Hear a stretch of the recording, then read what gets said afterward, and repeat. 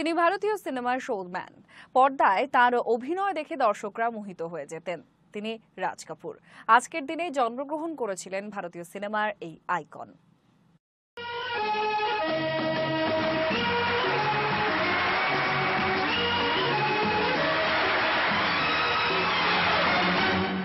জন্ম পেশোয়ারের এক হিন্দু পরিবারে। পিতার নাম পৃথ্বীরাজ কাপুর। মায়ের নাম রামসরণী দেবী। পরিবারের বড় ছেলে বলে তাঁর জায়গা ছিল সবার উপরে। কাপুর বংশের অন্যতম কৃতি এই সন্তানটি ছেলেবেলা থেকেই নানান ধরনের অভিনয় করে সকলকে তাক লাগিয়ে দিতেন। তিনি রাজ কাপুর। মাত্র এগারো বছর বয়সে ইনকিলাব ছবিতে তার প্রথম আত্মপ্রকাশ। তারপর দীর্ঘ বারো বছরের পড়াশুনো জীবন।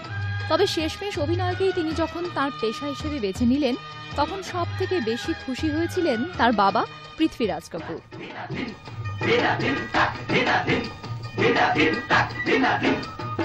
बरसात में बरसात में हमसे मिले तुम सजन तुमसे मिले हम बरसात में प्यार हुआ इकरार এরপর উনিশশো সালে নীলকামাল ছবিতে মধুবালার বিপরীতে অভিনয় করে তিনি বুঝিয়ে দিলেন তাকে বাদ দিয়ে বলিউড চলতে পারে না এরপর আর পেছন ফিরে তাকাতে হয়নি আর কে ব্যানারের নিচে একের পর এক হিট তাকে নিয়ে যায় সাফল্যের শিখরে मालूम नहीं है कहाँ मंजिल कहता है दिल रास्ता मुश्किल मालूम नहीं है कहाँ मंजिल प्यार हुआ इकरार हुआ है प्यार से फिर क्यों डरता है दिल তবে শুধু অভিনয়ই নয় রাজ কাপুর পরিচালনার কাজেও দেখিয়েছিলেন তার দক্ষতা বরসাত আওয়ারা শ্রী চারশো বিশ প্রভৃতি ছবিতে আমরা পাই এক অন্য রাজ কাপুরকে न घोड़ा है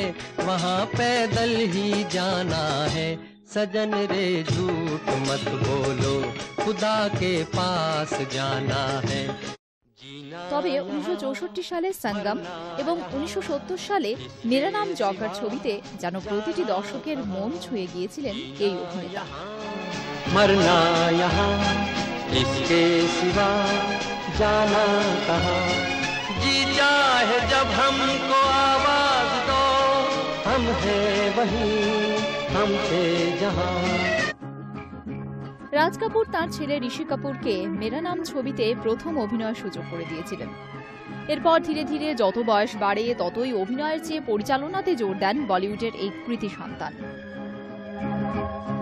ये रात भीगी भीगी ये मस्त फिजाएं उठा धीरे धीरे वो चांद प्यारा प्यारा ये रात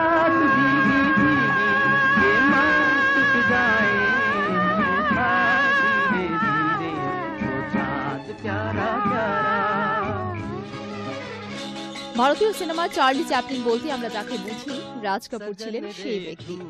সহজাত অভিনয় দক্ষতা তাকে দর্শকদের মধ্যে অনেক বেশি গ্রহণযোগ্য করে তুলেছিল। নতুন ছেলে মেয়েদের প্রতি তাঁর আকর্ষণ ছিল অদ্ভুত। তাই তাঁর হাত ধরে উঠে এসেছিলেন বলিউডের তিন স্বনামধন্য নায়িকা জিনাত আমান পদ্মিনী কোলাপুরী এবং মন্দাকিনী দুটি জাতীয় পুরস্কার ছিল তাঁর ঝুলিতে। এছাড়াও ছিল নটি ফিল্মফেয়ার পুরস্কার। জীবনের শেষ দিকে শ্বাসকষ্টের শিকার হয়েছিলেন এই মহান অভিনেতা।